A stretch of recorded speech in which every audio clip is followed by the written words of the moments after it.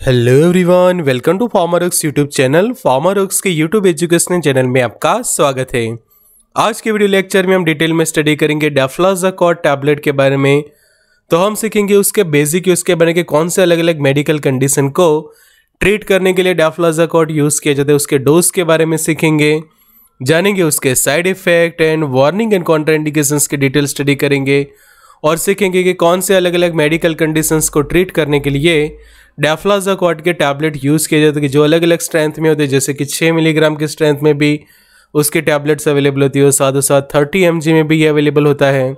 तो जानते हैं डिटेल में डाफ्लाजाकॉट के बारे में तो expert lecture by Amar sir assistant professor and founder of Pharmarox subscribe करें हमारा चैनल फार्मारॉक्स सीखिए अलग अलग बीमारियों के बारे में, उनके उपचार के बारे में मेडिसिन कोर्स के अंदर, कि आप कौन सी दवा उसमें यूज़ करेंगे, उनके dose side effect warnings contraindications वो भी एक साल तक अफोर्डेबल प्राइस में फार्मारॉक्स के ऊपर।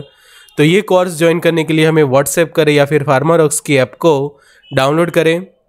कॉन्टैक्ट नंबर है nine zero one six three one two zero two zero हमारे सेकंड चैनल को भी सब्सक्राइब करके सपोर्ट करें। लिंक डिस्क्रिप्शन बॉक्स में मिल जाएगी। अब समझते हैं डाफ्लाजा कॉट के बारे में। तो ये ऐसे क्लास का मेडिकेशन है कि जिसको हम स्टेरॉइड्स कहते हैं। और ये मेडिकेशंस के पास दो तरह की प्रॉपर्टी है। एक है वो इम्यूनोमोड्यूलेटरी एजेंट के तौर पे काम करता है और साथों साथ एंटी इन्फ्लामेटरी उसके पास एक्शन भी जिसके कारण ये क्या करता है कि जो सूजन और सूजन के कारण होने वाले जो दर्द होते हैं, उसको कम करता है। फिर जो ऑटो इम्यून डिसऑर्डर्स होता है, उसको भी ये मेडिकेशन ठीक करता है। जैसे कि जो इम्यूनोलॉजिकल डिसऑर्डर्स होते हैं या फिर जो इन्फ्लामेटरी कंडीशंस जो हम कहते हैं कि जहाँ पे आपके शरीर के अंदर सूजन है कहीं पे भी सूजन है आपके शरीर में तो उसको कम करने का काम करेगा ये डाफ्लाजाकॉट टैबलेट। तो स्टेरॉयडल मेडिकेशन है तो ये खास आप ध्यान रखें। आ, उसके बेसिक यूज़ के बारे में समझे तो स्पेशली डेफ्लाजाकॉट जो है वो इन्फ्लेमेशन जहाँ पे आपके शरीर में होता है या फिर जो ऑटो इम्यून कंडीशंस होती है वो दोनों को ट्रीट करने के लिए यूज़ किया जाता है। ऐसे मेडिकल कंडीशन कि जहाँ पे आपके शरीर के अंदर इन्फ्लेमेशन है, सूजन है या फिर आपको कोई ऑटो इम्यून डिसऑर्डर है, जैसे कि आर्थराइटिस की कंडीशन है कि जिसको हम गठिया रोग भी कहते हैं, वात रोग भी कहते हैं तो उसको ठीक करता है ये मेडिकेशन और ये क्या करता है कि जो सूजन होती है आपके शरीर के अंदर, जिसको स्वेलिंग भी हम कहते हैं, फिर रेडनेस हो जाती है जहाँ पे स्वेलिंग होता है, वहाँ पे फिर दर्द भी होता है। तो वो सभी को कम कर देते बिकॉज़ जो इन्फ्लेमेशन के लिए रिस्पॉन्सिबल जो मेडिएटर्स होते हैं केमिकल्स जो रिलीज़ होते हैं, उनकी इफ़ेक्ट को ब्लॉक करके ये मेडिकेशन जो है वो काम कर देगी, जो स्पेशली रिस्पॉन्सिबल बनते हैं इन्फ्लेमेशन के लिए। इस तरह से आपको ये मेडिकेशन रिलीफ देता है। इन्फ्लेमेशन के अलग अलग सिम्टम्स में से और आपका दर्द वगैरह कम करता है।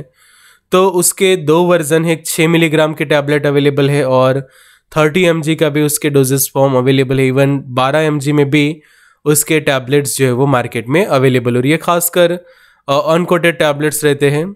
तो अब उसके बेसिक यूज़ के बारे में हम डिटेल में समझे तो जो एक्यूट इंटरस्टेशियल नेफ्राइटिस की जो कंडीशन कहते हैं कि जो आपके किडनी के अंदर जो नेफ्रॉन का बाग होता है, वहाँ पे आपको सूजन है. फिर एनाफाइलेक्सिस जो कंडीशन अचानक से होती है कि सडनली आपके बॉडी के अंदर एलर्जिक रिएक्शंस डेवलप हो रहे, उसके कारण सूजन हो रही है पेन हो रहा है स्वेलिंग हो जाती है चेहरे पे तो उसको ठीक करता है ये मेडिकेशन अस्थमा के जो सिम्टम्स होते हैं, उसको भी ट्रीट करने में हेल्प करता है। फिर जो ऑटो इम्यून एनीमिया की जो कंडीशन कहते हैं क्रॉन्स डिसीज है डर्मिटो मायोसाइटिस की जो कंडीशन है। फिर आइडियोपैथिक थ्रोम्बोसाइटो पैनिक पुरपुरा की जो कंडीशन हम कहते हैं। फिर जुवेनल क्रोनिक आर्थराइटिस की जो और कम एज के बच्चों के अंदर जो खासकर आर्थराइटिस जो देखने को मिलता है, गठिया रोग देखने को मिलता है, उनको भी ये मेडिकेशन यूज़ की जाती है। फिर सीवियर हाइपर सेंसिटिव रिएक्शंस जब होते हैं कि जिसको हम एनाफाइलेक्सिस भी कहते हैं तो उसके इलाज में भी डाफ्लाजा कॉट यूज़ किया जाता है। फिर इम्यूनोसप्रेशन के तौर पे ट्रांसप्लांटेशन के दौरान जो है वो यूज़ किया जाता है। फिर एक्यूट एंड लिम्फेटिक जो लुकेमिया की जो कंडीशन जो ब्लड कैंसर एक तरह की हम कंडीशन कहते हैं। फिर मेलिग्नेंट लिम्फोबा मतलब कि जो कैंसर होते हैं तो कैंसर में भी ये मेडिकेशन जो है वो यूज़फुल साबित होती है। इसके अलावा भी उसके बहुत सारे यूज़ है, जैसे कि मल्टीपल माइलोमा के वो भी एक टाइप का कैंसर है, फिर मस्कुलर डिस्ट्रॉफी की कंडीशन रूमेटोड आर्थराइटिस की जो एक ऑटो इम्यून डिसऑर्डर की वहाँ पे भी आपके जो जॉइंट्स होते हैं, वहाँ पे सूजन पेन दर्द वगैरह की कंडीशन होती है। फिर पॉलीमाइग्लिया रोमेटिका की जो कंडीशन है नेफ्रोटिक सिंड्रोम से पेम्फिगस की कंडीशन है पॉलीआर्टराइटिस नोडोसा की कंडीशन या फिर पायोडर्मा गैंग्रीनोसम की कंडीशन सार्कोइडोसिस की कंडीशन फिर एसएलई की जो कंडीशन है, जो हम कहते हैं कि सिस्टेमिक ल्यूपस इरिथेमेटोसिस को जो कंडीशन हम कहते हैं अल्सरेटिव कोलाइटिस की कंडीशन तो ये सभी मेडिकल कंडीशंस को और ट्रीट करने में हेल्प करता है डेफ्लाजाकोड टैबलेट मतलब कि बहुत सारे मेडिकेटेड यूज़ है उसके बिकॉज़ ये एक स्टेरॉयड क्लास का मेडिकेशन है कि जिसके कारण मल्टीपल उसके आपको यूज़ देखने को मिलते। तब उसके मेकेनिज़्म हम देखें तो कैसे ये मेडिकेशन काम करता है।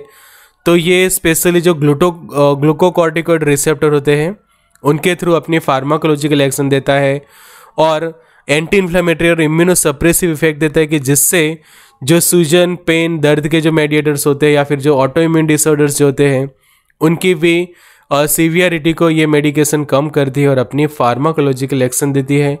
उसके डोज के बारे में हम समझे तो जो इनिशियली जो डोज होता है वो सिक्सटी ले, से लेकर 120 मिलीग्राम पर डे होता है कि जब भी ट्रीटमेंट स्टार्ट की जाती है तो शुरुआत में ये डोज दिया जाता है सिक्सटी से लेकर 150 फिफ्टी पर डे या फिर जो मेंटेनेंस डोज से भी आप ट्रीटमेंट स्टार्ट कर सकते हैं, कि वो है छः से लेकर 18 एम पर डे तो ये जो टैबलेट है छः मिलीग्राम के, ये पेशेंट खासकर दिन में तीन बार ले सकता है या फिर दिन में दो बार भी वो यूज़ कर सकते हैं। या फिर अगर कंडीशन ज़्यादा ख़राब है तो उस वक्त थर्टी मिलीग्राम के टैबलेट दिन में दो या तीन बार पेशेंट खा सकता है।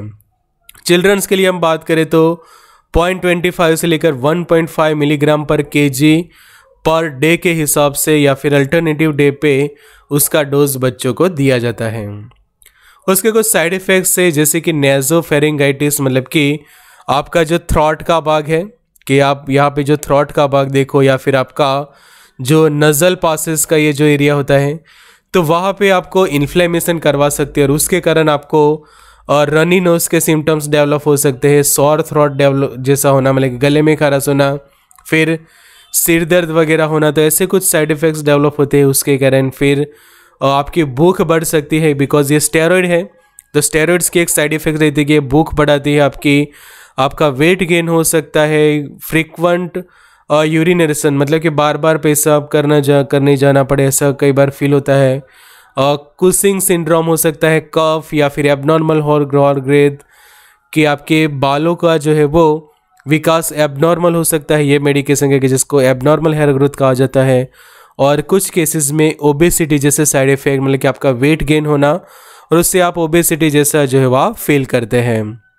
अब उसके कुछ कॉन्ट्रा इंडिकेशन से मतलब कि कब आप ये मेडिकेशन को ना खाए तो अगर आप प्रेग्नेंट है तो प्रेग्नेंट के डर के दौरान यूज़ ना करें, अगर आपकी किडनीज ख़राब है या फिर आपके किडनी डिसीज़ है तो प्रॉपर प्रिकॉशंस के साथ ही यूज़ की जाती है या फिर उसको अवॉइड किया जाता है, फिर आपको स्टेरॉइड की हाइपर सेंसिटिविटी है, फिर आपको इनएक्टिव ट्यूबरक्लोसिस है या फिर अनट्रीटेड ट्यूबरक्लोसिस मतलब कि टीबी के दौरान ये मेडिकेशन यूज़ ना करें। हर्पिस सिम्प्लेक्स इन्फेक्शन है आपके आँखों का या फिर आपको इन्फेक्शन है आँखों के अंदर या फिर कहीं पे भी आपकी बॉडी में फंगस के कारण तो भी ये मेडिकेशन को यूज़ ना करें और आपके शरीर के अंदर थायराइड हार्मोन्स का लेवल कम है तो भी डेफ्लाजा कॉट को लेना अवॉइड करें। तो ये सभी कंडीशंस में डेफ्लाजा कॉट को यूज़ नहीं की जाती। और एक और चीज़ ये कि अगर कोई भी साइड इफ़ेक्ट ज़्यादा ख़राब हो रही है तो भी ये मेडिकेशन को ना ले, कोई एलर्जिक रिएक्शंस डेवलप हो रही है, या फिर ये मेडिकेशन लेने के बाद आप अनकम्फर्टेबल फील करते तो भी आपके डॉक्टर या फिर फार्मासिस्ट को बता के मेडिकेशन चेंज करनी चाहिए। तो ऐसे ही सीखे मेडिसिन कोर्स में अलग अलग दवाइयों के बारे में उनके यूज़ क्या होते हैं dose side effect warning contraindications एक साल तक अफोर्डेबल प्राइस में फार्मारोक्स के ऊपर। तो कोर्स ज्वाइन करने के लिए हमें व्हाट्सएप करें nine zero one six three one two zero two zero पे। तो कोर्स एक्सेस करें ऐप ऊपर हमारी Pharmarox Android user Android app download कर सकते हैं। आईफोन यूज़र ऐप स्टोर से लिंक डिस्क्रिप्शन बॉक्स में मिल जाएगी। हमारे सेकंड चैनल को भी सब्सक्राइब करें। लिंक हमने आपको डिस्क्रिप्शन बॉक्स में दे दी है। Good luck and all the best